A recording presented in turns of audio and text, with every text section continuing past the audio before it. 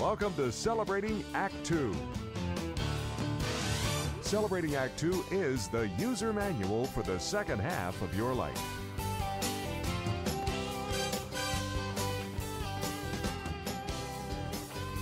I'm thinking that music is in the universe, you know, the way the patterns, the way the stars move, or everything out there. So, to bring it down to earth here, we have these sounds that are um, organic, and you have strings, and you have uh, percussion instruments, horns that use wind, and all this stuff creates music, and in a variety of ways, in a variety of sounds. And I think it's important for everybody to at least listen to music and to enjoy it.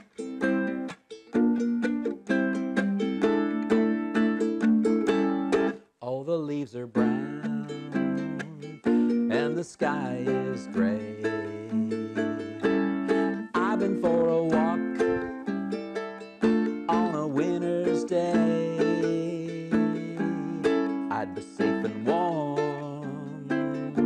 If I was in LA.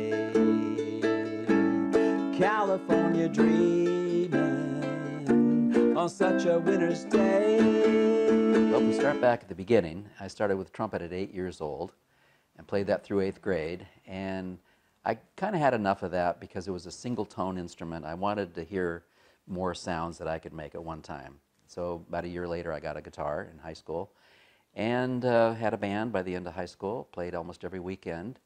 Continued through college. I even got a minor in music at San Jose State. Then I lived in the Bay Area for about four years before I went on to graduate school in Hawaii. And at graduate school, I had a program called HCAP, Community Action Program. And I was placed there, and one of the women in the office there was a great singer, and she played the uke and guitar. And we put a little band together. And so she taught us how to sing Hawaiian music to pronounce the words correctly and the feel. And so we, we went out and gigged, four of us, for several uh, gigs for four or five years, I guess. And then, um, so I finally graduated, and then uh, after that, it took a little while to get a job. So then I decided to go to Japan with a band in 1978 for three months, came back, and still had a little trouble. Finally, in, in the fall, I got a job at the uh, Waikiki Community Center, and I was the program director for the senior program. And within that, I had a senior citizen band with uh, a bunch of the elderly, mostly women, and we played at the hotels, and just for free. You know, we had rehearsals every week, and I was in charge of that. And um, that, after two years, got kind of old, and so I went on and I, I joined up with a, a, guy named Nick Masters, who had played many years with Bill Haley. And uh, from there, we had a, a duo, trio, quartet, and five-piece band. We did oldies, mostly country, though country was crazy big in Hawaii in the 80s. Then after that, I got into computer music with a partner, and we did two albums, and, uh, and that led to about 1988, and then I moved back to the mainland here, continued doing music, and also introduced magic into the, to the uh, mix with the music and a magic show, and then my little son, who was not even three, I guess, he started imitating me one day, and I made him a bunch of magic things, and he started performing.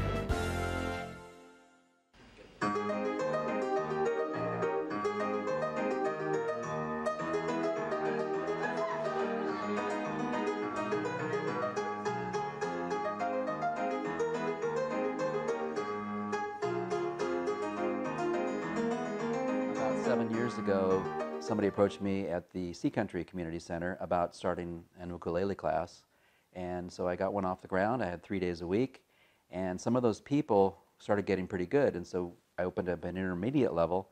And as that progressed, we uh, were getting pretty solid with a lot of different tunes and a lot of challenging uh, songs. And then I threw out one night, why don't we get a band together? And so we put a little band of five women and myself and we needed a name, so we called it the Big Sisters Ukulele Band. And the origin of that is that they're all taller than me and they're all older than me except for one. Okay?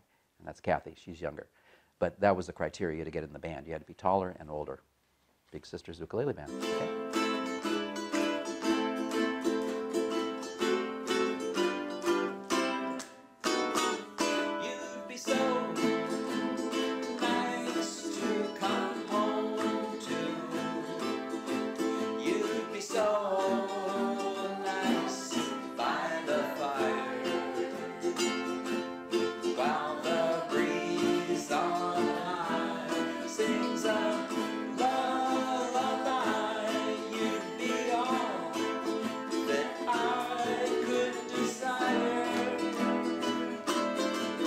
How did I get interested in the one man band? I visited Santa Cruz, where my sister was living in 1984, and a guy was setting up to do a concert at the music store.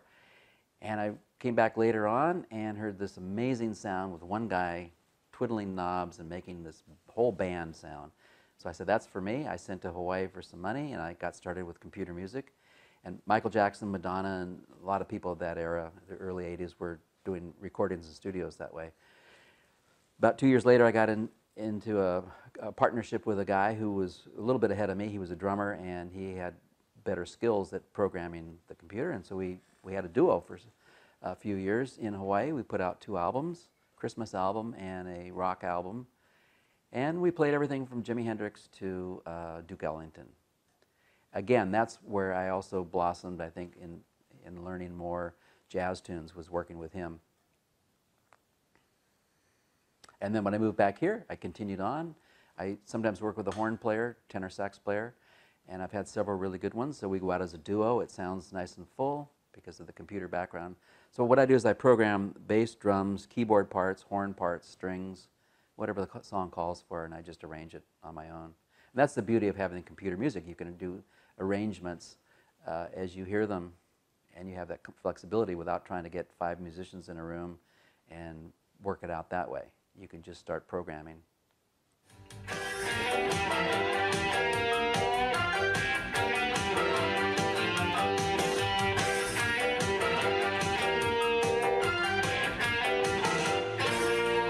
tell me, son, now you're living in the past. The music I love is gonna last and last. Hey, Jerry Lee